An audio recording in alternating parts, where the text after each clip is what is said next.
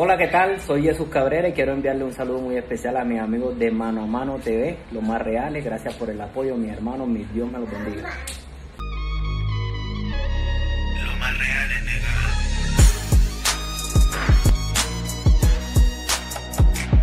Lo más real es Saludamos a todos nuestros suscriptores del extranjero y Colombia. Antes de empezar no olviden descargar la mejor aplicación del fútbol mundial, donde estarás enterado de todo, en tiempo récord. Todos a descargar la link abajo.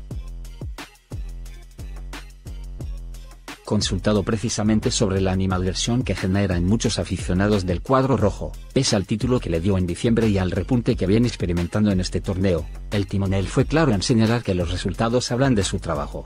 La gente que no me quiere, que no es mucha como lo quieren hacer ver, tendrá sus motivos, y no es mi tarea convencerlos porque seguramente nada les hará cambiar de idea. En cambio sí hay muchos que apoyan lo que hemos venido haciendo, señaló Cruz. Y agregó que a los que no gustan de nuestro trabajo les digo que están en todo el derecho de pensarlo, pero les cuento que en el tiempo que llevamos trabajando convencimos a un plantel con un mundialista, Adrián Ramos, y salimos campeones. Le ganamos a dos equipos que tienen las mejores nóminas del país, Junior y Nacional.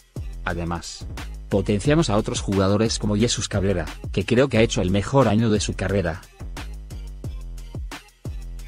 Deja tu opinión sobre Juan Cruz que por ahora sigue tapando bocas después de ganarle el clásico al Cali y entrar a los 8, va más decidido que nunca.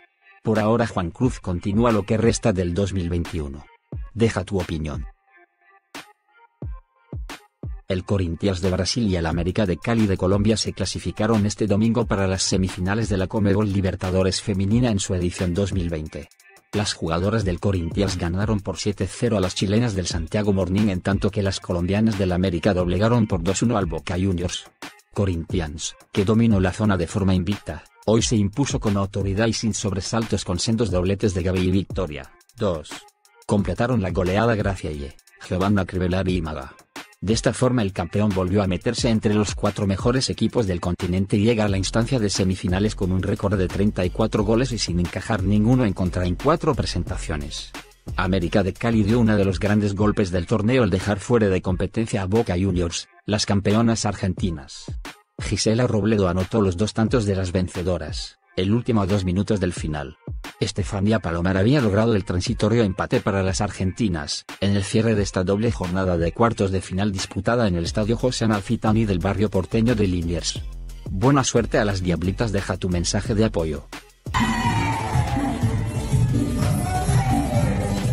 Luego de las especulaciones sobre la posible salida de Dubán Vergara del América de Cali al Brasileirao, trascendió que uno de sus juveniles que se ha vuelto promesa, podría abandonar las filas escarlatas para mostrar su fútbol en la Liga de Brasil. Según se conoció, el extremo marino Inestrofa está siendo observado por el cuerpo técnico del Palmeiras para que conforme la plantilla del actual campeón de la Copa Libertadores en la presente temporada, en vista que no pudieron quedarse con el pase de Vergara y además, porque es un juvenil al cual le podrían sacar el mayor provecho.